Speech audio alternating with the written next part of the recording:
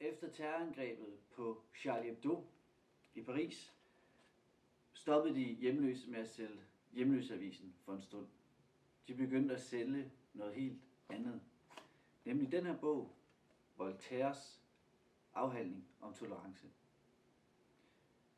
I den forrige video har jeg også fortalt lidt om Voltaire, så det vil jeg ikke gøre nu. Nu vil jeg holde mig til den her bog, som jo så er kan man sige, mere faglig end, end den sidste bog, jeg fortalte om. Jeg kan godt lige læse et citat op til at starte med. Der indgår lidt nogle navne, som er lidt ligegyldige øh, i den her forbindelse, fordi det er ligesom skrevet for noget tid siden. Ikke? Øh, men det er simpelthen det budskab, jeg lige slutter med, jeg gerne lige vil frem til. Det lykkes uden besvær Euklid at overbevise alle mennesker om geometriens sandheder. Men hvorfor? Fordi de alle sammen er en type som påstanden 2 og 2 er 4. Det samme gør sig ikke helt gældende, hvad angår blandingen af metafysik og teologi. Dengang biskop Alexander og præsten Aurius øh, eller Arius gik i gang med at diskutere på hvilken måde logos, altså sådan et meningsbegreb, udspringer af vores himmelske fader, skrev kejser Konstantin ifølge Eusebe og Sokrates til dem. I er nogle store tåber, når I diskuterer noget, I aldrig kan blive enige om. I er nogle store tåber, når I diskuterer noget, I aldrig kan blive enige om. Der var en masse name dropping, som vi ikke lige skal gå ind i her.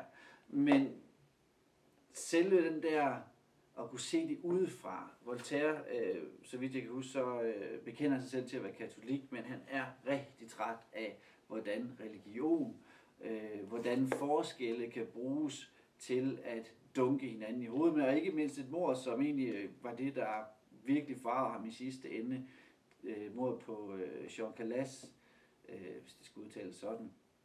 Øh, det var et mord, fordi øh, hans øh, søn døde, og så kom der en historie om, at det var fordi, at han var protestant, og så ville sønnen gå over til at være katolik. Øh, og derfor faren slog ham ihjel, og så skal faren jo dø, fordi det må man jo ikke gøre. Og øh, senere viste det sig så, at han faren blev, blev renset. Øh, men det er hele den der kamp, øh, som Voltaire gør op mod, og det har han egentlig gjort hele sit, sit liv, og må nogle gange flygte til det ene sted eller det andet sted. Øh, men det er bare noget, man bliver rigtig nysgerrig på. Hvad er det for en tolerance, han formår at udvise? Hvad er det for en tolerance, han egentlig snakker om, vi skal have? Vi er nogle tåber, når vi diskuterer noget, vi aldrig kan blive enige om. Jamen, jeg har altid tænkt, når vi ser politiske debatter, hvorfor er det, vi skal se det her skuespil? Ikke? Øhm, det har selvfølgelig et formål, at vi som seere skal blive afklaret vores eget politiske ståsted, når vi ser en politisk debat. Men når man bare sidder og ser det, altså hvis det ikke bliver transmitteret, hvorfor så står og diskutere noget? Der er jo aldrig en fra et parti, der vil sige, det kan jeg godt se, det I siger, at jeres parti giver da meget mere mening skal skal komme frem til at snakke om, jamen jeg kan da godt se, det du giver mening, giver mening fra dine sko og fra dit synspunkt, det kan jeg godt se, og derfor er jeg forståeligt, derfor kan jeg se, at vi begge to er mennesker, og derfor kan vi tolerere hinanden. Tolerance betyder egentlig at udholde smerte, og det er den helt store udfordring på, altså på arbejdspladser, lokalsamfund, en smerte, som kan handle om, at jamen, vi tænker ikke ens om tingene, men alligevel skal vi være gode kolleger, alligevel skal kunne løse opgaver sammen, tage til julefrokost og alle de her ting. Og det synes vi er svært. Det er svært at håndtere det der med, at nogen er anderledes end os selv. Men vi bliver nødt til at finde det som et sted, hvorfra vi kan betragte verden. Og så sige, jamen vi behøver ikke at diskutere noget, vi aldrig bliver enige om. Vi kan, vi kan skabe sammen, vi kan være sammen, vi kan leve sammen.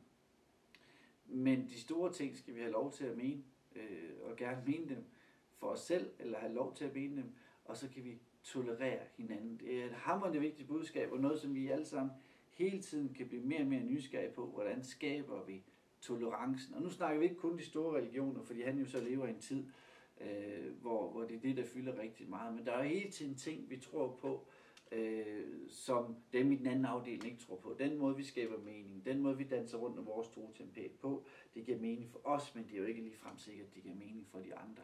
Og der kan man altså ved at læse Voltaires øh, afhandling afhandling tolerance, det er, ikke, det er ikke sådan en bog, det er en masse små øh, tekster, som selvfølgelig er skrevet for en god rum tid siden, men øh, jeg kan virkelig anbefale, det er sådan nogle gode, små nogen lige at tage en gang, og man tænker, ej, hvor han ret, og hvad er vi godt nok dumme nogle gange, når vi diskuterer ting, vi aldrig kan blive enige om. Kunne vi ikke bare se mennesker hinanden i stedet for, og så respektere hinanden for det, vi kan, øh, i stedet for at have hinanden for det, der er forskelligt mellem Det er måske et stort vildt budskab, men nogle gange er det det, der er brug for.